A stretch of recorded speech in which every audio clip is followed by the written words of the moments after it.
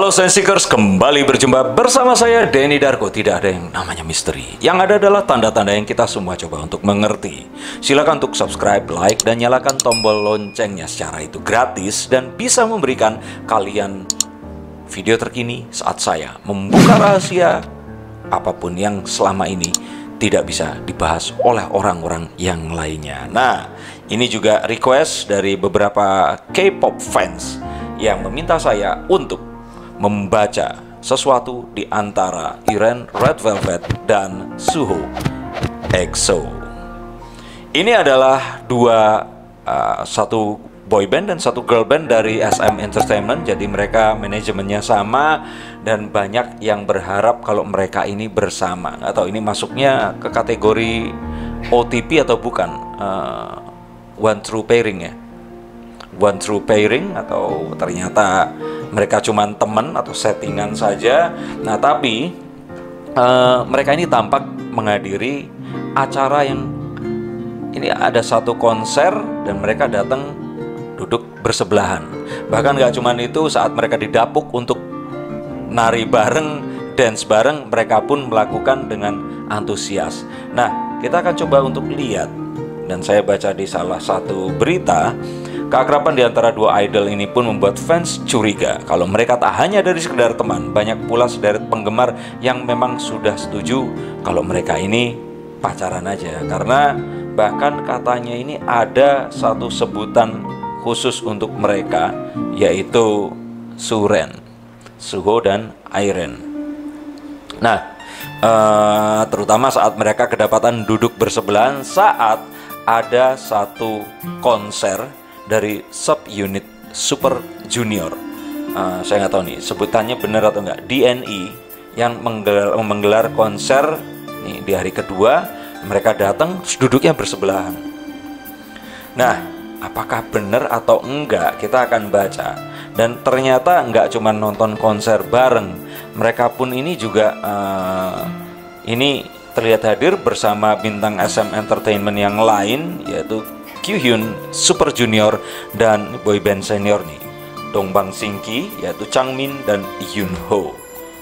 Nah, bahkan saat mereka itu diminta untuk uh, menarik saat ada lagu Can You Feel It dari DNE, mereka itu tampak ya walaupun sedikit malu-malu mereka antusias uh, menari-nari di belakang Changmin dan Yunho.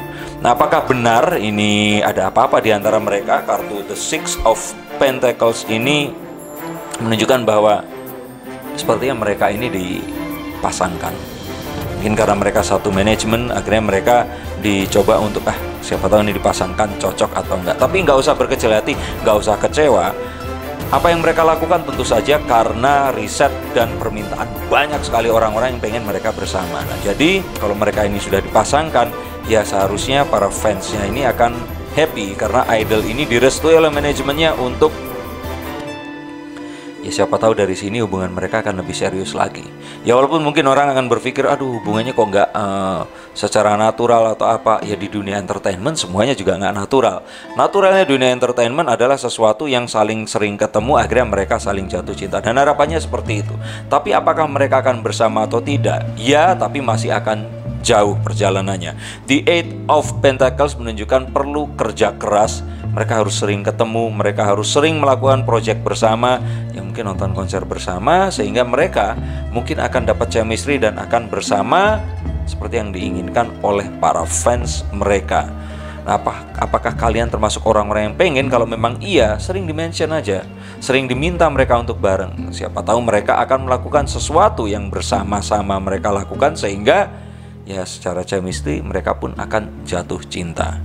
Nah, kita tahu bahwa mereka ini adalah pribadi-pribadi yang super sibuk dengan latihannya, proyek terbaru, lagu mereka, dan kalau kita lihat apakah mereka saat ini akan jatuh cinta, kita akan lihat bahwa sebenarnya apa pun akan mereka lakukan, yang penting tidak menghalangi karir mereka. Kartu The Knight of Pentacles ini menunjukkan bahwa mereka sekarang ini lebih pilih menunggu wait and see apakah perhub, uh, hubungan mereka berdua ini akan membangun atau membantu karir mereka. Tentu saja ini lebih utama karena mereka ini kedua-duanya adalah leader dari grup band dan boy bandnya. Mereka nggak akan meresikokan posisi mereka mengganggu uh, kepentingan grup kepentingan pribadi mereka dan saya pikir kalian semua akan setuju. Jadi ini semua yang bisa saya lihat dari hubungan antara uh, Suho dan Irene apakah mereka akan bersama ini tergantung dari kalian. Kalau kalian memention mereka akan bisa sering dipasangkan dan mereka mungkin akan disatukan. Nah, apakah mereka akan cocok dan saling suka? Ya, mereka akan cocok orang ya. Mereka berbakat sama-sama leader. Kalau saling suka agak mustahil kalau nggak suka cowok seganteng ini dan cewek secantik ini. Jadi harapannya tetap seperti itu, wujudkan ini semua dengan sering mention mereka untuk lebih sering bersama lagi dan untuk memastikan mereka nggak cuma jadi OTP saja, tetapi the real partner in their real life. Oke, ini adalah bacaan yang bisa saya lihat. Kalau kalian menginginkan bacaan yang lain dari artis-artis K-pop lain, silahkan untuk komen di bawah ini dan kalau ada yang salah silahkan diralat. Saya hanyalah seorang uh, pria berusia 42 tahun yang mencoba mengetahui apa yang terjadi di benak kalian semua dengan ilmu yang saya miliki. Terima kasih sudah menonton video ini. Sampai di video berikutnya. Salam.